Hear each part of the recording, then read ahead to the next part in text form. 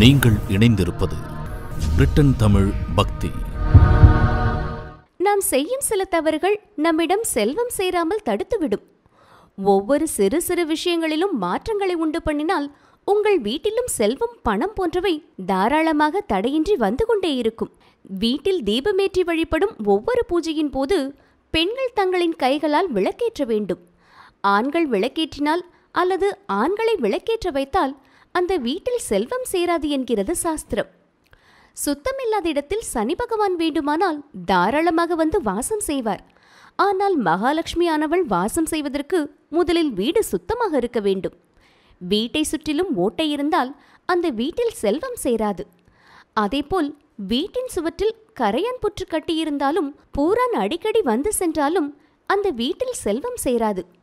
உடனே அவற்றை சரி செய்வதற்கான வழியை பாருங்கள். ஒவ்வொரு வீடுகளில் எச்சில் பாத்திரம் சேர சேர உடனே கழுவிக்கொண்டே இருப்பார்கள்.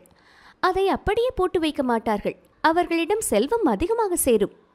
எச்சில் பாத்திரத்தை அப்படியே போட்டு வைப்பவர்களிடம் நிச்சயம் செல்வம் சேர வாய்ப்பில்லை. எந்த விஷயத்தையும் நேர்மறையான எண்ணங்களுடன் அணுகுபவர்கள் எப்போதும் செல்வ வளம் கொண்டிருப்பர்.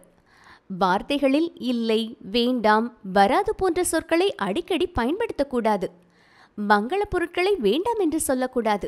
யாசகம் கேட்பவர்களிடம் இல்லை என்ற வார்த்தை சொல்லக்கூடாது. அதற்கு பதிலாக வேறு ஒரு வார்த்தையை பயன்படுத்தி நீங்கள் சொல்ல நினைப்பதை சொல்லலாம். ஆனால் இந்த வார்த்தைகளை அடிக்கடி பயன்படுத்துபவர்களிடம் செல்வம் சேராது என்பார்கள். ஒரு வீட்டில் இருளானது எப்போதும் நிலவக்கூடாது. சிறு வெளிச்சமாவது எப்போதும் இருப்பது அவசியம். வெளிச்சமின்றி இருள் சூழ்ந்த சூழ்நிலையில் வீடானது இருந்தால் அந்த வீட்டில் செல்வ வளம் பணவரவு நிச்சயமாக தடைபடும் என்கிறது சாஸ்திரம். அதனால் ஒரு சிறு மின் விளக்கையாவது எப்போதும் எரியும்படி வீட்டில் அமைத்துக் கொள்வது செல்வ வளம் பெருகுவதற்கு வழிவகுக்கும். அதுபோல் ஒரு வீட்டில் அன்னபூரணியை அவமதிப்பு செய்பவர்களுக்கு செல்வத்தை தடுக்கும் சாபம் உண்டாகும். வீட்டில் சமையலறையில் எந்த பொருள் தீர்வதற்கு முன்பும் அவற்றை வாங்கி சேகரித்துக் கொள்ள வேண்டும். அதிலும் குறிப்பாக அரிசி உப்பு பால் சர்க்கரை இந்த நான்கு பொருட்கள் தீரும் வரை வாங்காமல் இருப்பது செல்வ வளத்தை தடுக்கும். உங்களிடம் பணம் வரவு நிச்சயம் தடைபடும். கால்வாசி இருக்கும் போதே கடைகளில் இருந்து வாங்கி தேக்கம் செய்து கொள்வது மகாலட்சுமி கடாட்சத்தை உண்டாக்கும் என்பதை நினைவில் கொள்ளுங்கள்.